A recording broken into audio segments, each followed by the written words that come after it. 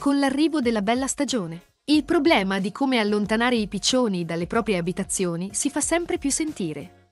Ecco i metodi non invasivi e che non fanno male ai volatili. Quando si pensa a come allontanare i piccioni, è molto importante pensare prima di tutto alla loro incolumità. Se da un lato è vero che spesso tendono ad essere rumorosi e che i prodotti di scarto che lasciano in giro sono piuttosto seccanti da smaltire, dall'altro rimane indispensabile trattarli bene in quanto esseri viventi. È quindi importante trovare delle vie di mezzo che li tengano lontani, lasciando balconi e giardini puliti senza gravare sulla loro salute.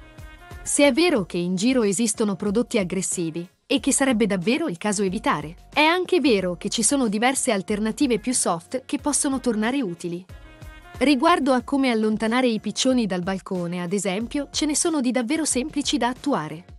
Il primo consiste nel posizionare sul balcone o in prossimità di dove sono soliti fermarsi degli spaventapasseri che in questo caso saranno delle sagome simili a quelle di un volatile. Visto che i piccioni hanno paura degli altri volatili, dovrebbero evitare di avvicinarsi. Un altro modo è quello di posizionare degli oggetti riflettenti di cui questi volatili hanno particolarmente paura.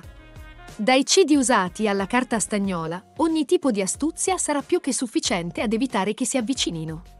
Se oltre a come mandare via i piccioni, il problema sta proprio nel non farli avvicinare. In commercio esistono degli oli essenziali resistenti all'acqua che servono proprio a questo e che posizionati nei punti strategici porteranno i volatili a non avvicinarsi senza fargli male.